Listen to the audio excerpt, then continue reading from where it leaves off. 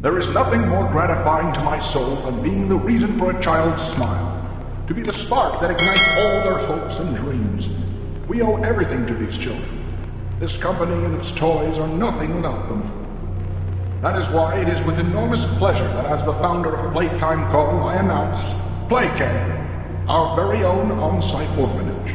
A child should never be left unloved, never without a hand to hold when they see a monster in their closet. May Playcare bring joy, inspiration, and smiles to every child who enters these doors.